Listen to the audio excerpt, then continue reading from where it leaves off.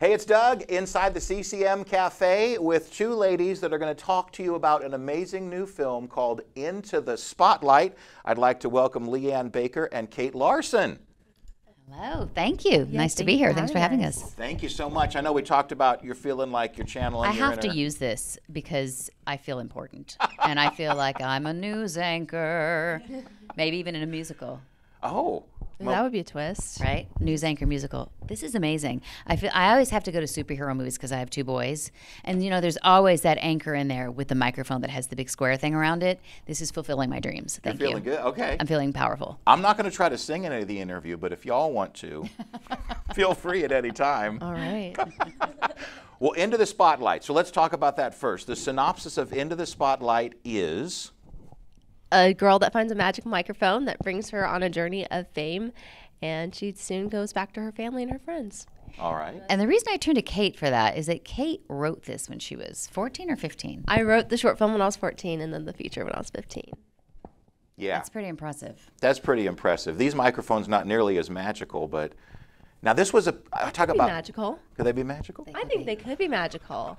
I like the box. I, I like what you're saying. Pandemic positive. This is a pandemic positive. Yes. This film and this story. Yes, so it was like right in the midst of COVID. So the lockdown happened. I remember my mom was like, "This is probably the last time you'll be walking around the mall without a mask on." For a couple months, and so I was like, "Oh, it's like this thing is actually serious." And so at first it was like two weeks, and then I was like, "No, this is like a life changing situation." So I, I saw all my friends going through, you know, like we're all like navigating new waters, and you know, depression really kicked in. I know for like me and for other some other people. So I was like, If we need a movie, like a family movie that we can watch with our families during this time. And so I was like, is someone else gonna make it? And I'm like, no, why don't No I one's make going it? to make it. so yeah, from there, like we made the feature, I mean the short film, and it got such great traction that you know moms kept coming up to me like during like festivals, and they they told me that their daughters need a story like this. So I was like, you know what, we need to write it. Yeah. I think kids went through a lot. I mean, adults did too. But uh, kids got a lot of their lives taken away from them and stolen from them over the past three years. And they got um, put in front of a television that had a lot of less than desirable content bombarding them on a daily basis. And so they need something fun, happy, and clean to watch. And that's where Kate stepped in and filled the needs of her generation.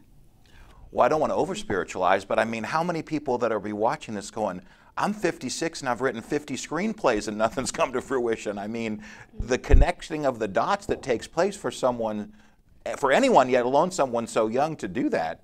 What was that like and how f- did that feel? Yeah, it was all really God. Um, like from the moment that the story was really happening, I wrote a different short film, and I remember sitting on my bed and I was like, I cannot make this. I'm like, it's so like self desirable, and you know, like me wanting to show off my acting abilities. And that night, I asked the Lord to give me a new story because we already had everyone coming in from out of town to film this short film. So the next morning, I remember cleaning up my room and I look at the, my, my microphone that's signed by Gloria Estefan. And I was like, I want a magic microphone. And right then I looked and there was a paper with Spotlight right next to it because I wanted to write a song called Spotlight. And God was like, that's your story. And I was like, oh my gosh. So immediately I ran out to my parents and I'm like, I have a story. I have a new story. We're like, scratch the other script. We're like starting over. So from the very beginning, it's just been like God really like blessing and like just for him to entrust me with the story has like blown my mind and I'm so grateful. So And to give her parents, I have to give kudos to the parents to give them the courage to really support this and and see it not just support it, champion it and see it through.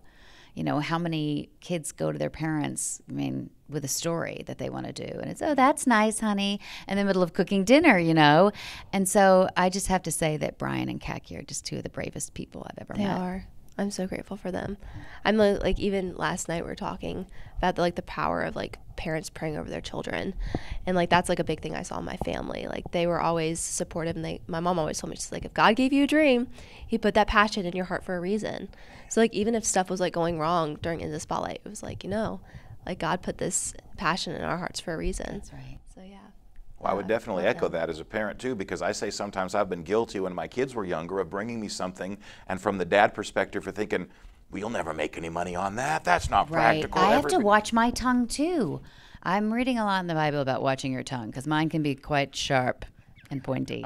so I'm trying to learn from this. And when my kids come to me with an idea, you have a moment to take a breath and either crush their spirit or encourage them. And even if that isn't the right project or the right idea, but to encourage them for the efforts and so that they can continue to go further with confidence. Yeah, so that's awesome. They fostered the creativity. Now we've got this movie coming out.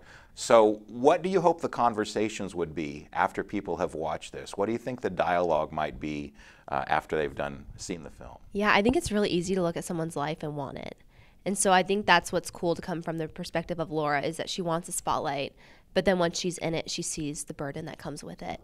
And so she really realizes to be happy where she is. And I think that was a part of my life that I wanted to bring out was and I hope that like sparks a conversation that you can see something and want it, but you also need to look at the price that's pay, like attached to it and Yeah. also the importance of family and And the gratitude of having what you have. Yes. The gratitude of looking around you, seeing your parents, seeing your friends, and just being so thankful to God for every blessing in your life. I think that is really missing from all generations, from everybody, honestly, is to wake up in the morning when your feet touch the ground and be grateful. Yeah. So this is something that we've all wanted. This is something that we all need good entertainment. So we need to go into the spotlight. Talk a little bit about some of the folks that were in the film, maybe some stories about filming, some comedians you worked with, I don't know. Well, the mom is amazing in this. yes. I'm just going to say it she's right now. So good. So I play the mom, and shocker, I often play the mom. I don't know if you got that memo. You're America's favorite mom. I'm Oh. America's favorite mom. Good luck. Good luck, world. Good luck, Laura. Good luck, Charlie. Yeah, so uh, I play the mom, and it was really a difficult role for me to play. I really wanted the role that Victoria Jackson plays in it. She plays the principal that does the announcements, and it's she's absolutely scene-stealingly hilarious. And I wanted that role, and then they were like, "No, no, we want you for the mom." And I was like, "Ah, she's very serious. She's very serious, this hmm. mom, and she's kind of the killer of fun, oh. a bit in it, but she has to be, and that was the heart. That was the really interesting part about the role is even though you may be dousing, uh, you know, putting out some flames with with, with water, uh, if that's what's best for your family and you know what's best for your family, you have to speak up. And it's walking that fine line of how do you not become the killer of fun and crusher of dreams while still maintaining that line of responsibility towards your family. Yeah, I think you also brought like a soft side to it. Oh, Of like the like the real like emotional side, where it's like the depth of the character of Kim. Like everyone on set was just awesome. Like even like the we have like a whole gang of kids in the film. Raphael Ruggiero, I keep saying his name incorrectly. He keeps correcting me. I'm like, I'm so sorry. Lane Hampton and Justin Sterner and Alina Pitts played like Laura's best friends in the film, and just like our energy on set was just so much fun, Yeah. and it was just awesome being with them And you have a really great mean girl too in it. There's Oh really yes, great mean girl. Isabel, Isabel, is on wonderful. fire. She's so good. She plays the mean girl in this movie, and then another movie that I have coming out in December, she plays Mary, which there's not a nicer person on planet Earth than the uh-huh. woman who birthed Jesus. So she's got quite a range too. And we have Jeff Allen who plays the prin- no, the, one of the teachers, and he's so funny. Yeah, and during his scene, I just always like laugh so hard, the, the point where it hurts. Awesome. What was it like to have written this and you're acting in this, but then there's the director, and then how does that feel as everybody starts moving around your pieces? Yeah, so Lisa Arnold, from like the moment she came on, I could not have trusted anyone more with the script. Like she just met me where I was at, and her vision for the film just blew me away. And every single day, like she's such a good leader and just so down to earth and sweet. And I was, And I don't really know that there is another director that could have pulled this off because this film was shot in 14 days. Wow. That's amazing. That's almost unheard of. And she just excels at making it happen. she really does. And to go from like not doing any film, like I had done theater and trained in film and acting, but she was really like just a huge support system. And every single time I get done with a scene, she just like spoke life into me. And so from the moment we started like right, like from the moment I mm-hmm. wrote it, handed it over, she's she just blew it away. And anytime I hear someone say, "We can do that in three weeks. We can film this film in three weeks," I'm always like, "Not without Lisa Arnold. You can't. you just can't." She's is the master at getting it done in Yes. three weeks. That's awesome. Which we to did it in two. She did it in two with this in 14 days, right? Yeah, 14 days. Wow. Wow. Well, just in terms of faith or clean or healthy films and those kind of things for your long career and seeing all that, are we at a place now where Hollywood understands that that's needed, that that's desired, has the success of, of other films? No. No. No. They still don't get it. Uh, no. But here's the good news uh, the lane is wide open for us, really, to start creating this content because Hollywood isn't interested in it anymore. They're not interested in really family friendly, family focused content.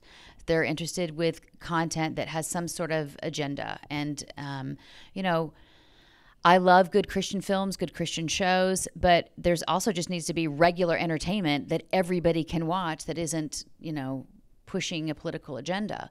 So that's where Into the Spotlight comes in. It's just a really entertaining movie for kids to watch. Yeah, sit around with your family and you don't have to keep hitting the passport button. Mm-hmm. I think that was like one of the main things I wanted to do. I was like, I want to sit down with my family and not have like fear that something's going to come across a screen and we're all going to be like closing our eyes. So I think that was a big part of writing in the spotlight. I was like, we need family movies because my like my favorite m- m- memories are going to the movies theaters with my Yeah. with my parents. You know, and, like sitting around like on a Sunday or a Saturday just watching a movie together. And I think families are like starting to lose that because we're losing content. So And the set was she was talking about the kids getting along so well, and they did. It was really sweet to watch them all bond, but the adults did too. In fact, um, I've joined forces with uh, Khaki, who was one of the producers on this, and uh, we're, we with uh, some other ladies, and are going to be producing another movie with Kate that Kate has written called The Glitch. So if anybody wants to find out any more information about that, you can go to theglitchseries.com, and it's a three-part trilogy. It's really really cool. All right. That's very awesome. Well, and to speak to as far as the family friendliness, as I was doing research for this, I came across a mom movie review person online and was sort of reading their description of things. And I think the only content that she said was that kids were talking about or drinking coffee a lot.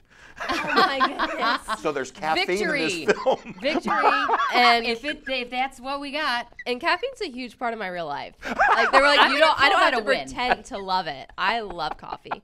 From the moment they were like, you get to pretend to pour coffee from a coffee pot, I'm like, you're feeding my addiction right now. This is a problem. That's awesome. Let's talk about the music on Into the Spotlight. So you're gonna watch the movie and you're gonna think it's my voice, but it's not actually my voice. So when Laura finds a magical microphone, it gives her the ability to sing. So the magical voice you hear is actually Rizzy Myers. She, I have never heard vocals like that in my life. I, when I walked into the recording studio, I'm like, "Hello, Whitney Houston." I'm like, "She's so good." And so we have nine original songs in the film. They were written by our wonderful writers, and they really just bring a different element to the film and really bring it to life. Yeah, I mean, it's it's it's always great to go to a movie that or see a movie that you can all enjoy together, but to be able to walk away singing some tunes, mm-hmm. bonus. Seriously, I had those songs stuck in my head, like stuck in my head so long that my friends were like, "Seriously, Kate, you're still singing them?" I'm like, "Yeah, I live these songs, and they're out like on all the streaming platforms, so anyone can listen to them."